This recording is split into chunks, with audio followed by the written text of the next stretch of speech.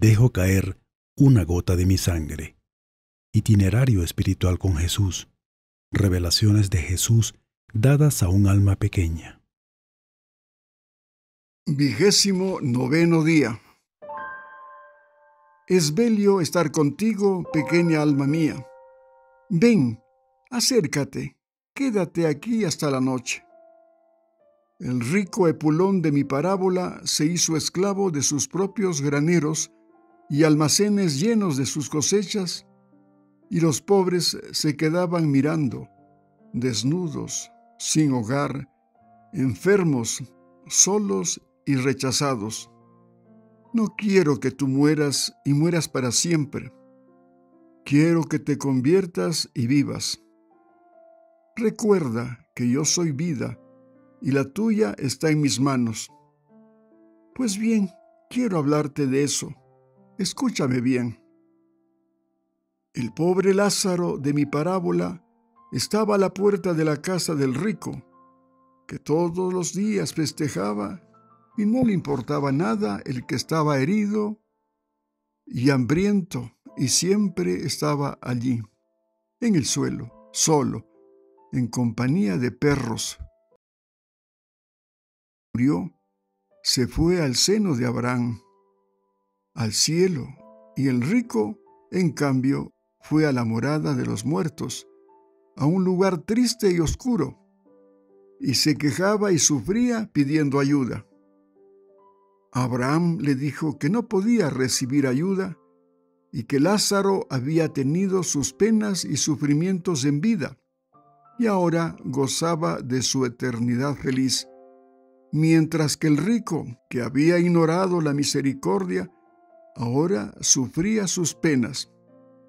Cuando le pidió que enviara algún ángel o al mismo Lázaro a avisar a sus hermanos aún vivos, para que cambiaran de vida, y fueron caritativos, para no acabar como él en aquel horrible lugar.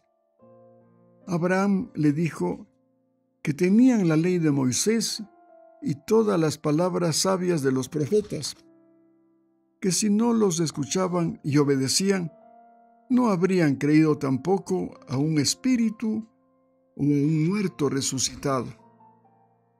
Ahora, pequeña alma mía, ven, acércate a mí y escúchame bien.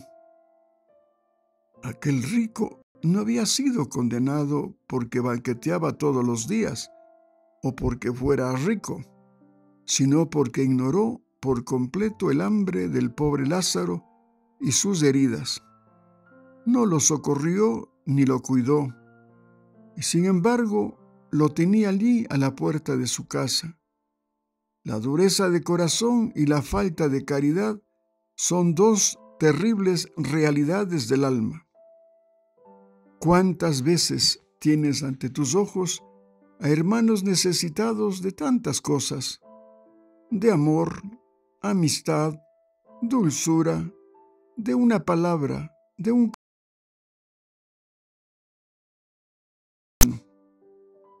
Muchos pueden tener necesidad de comida, ropa, de ser acogidos en la casa y demás. Simplemente los ignoras, no los ves, no los oyes, no escuchas el llanto de sus almas, porque estás distraído contigo mismo. No tienes o has perdido esa chispa de vida que te hace ser misericordioso y te hace oír esa llamada débil, apagada, esa voz cansada, a veces ronca, que es la del dolor en el corazón de un hermano. Y vives, vas, caminas, haces tantas cosas, te cansas, corres. Luego un día vas al médico como tantas otras veces. Te has hecho la última ecografía de las vías urinarias y hay una mancha, un bulto, tal vez un error de rayos X, tal vez un nódulo de grasa o tal vez haces un examen y descubres que tienes un tumor. En pocos días tu vida está totalmente patas arriba. De repente tienes miedo. Todo parece en peligro. te aterroriza tener que afrontar el dolor, el cambio, la transformación, la hospitalización, tal vez la muerte. ¿Y tu vida? ¿Tu familia? ¿Tu trabajo? ¿Tu carrera y todas tus cosas? ¿Y tus hijos? Todavía son pequeños, te necesitan. No puedes morir ahora. Es demasiado pronto. Tienes que superarlo. Tienes que sobrevivir. Así que luchas, te enfrentas a curas terribles, sufres, pero me tienes lejos porque tienes que lograrlo tú solo. Si yo existiera de verdad y te amara, ¿por qué te habría mandado un cáncer ahora? A ti que eres una buena persona y nunca le has hecho mal a nadie. Sí, tienes algún pecadillo, pero nada para castigar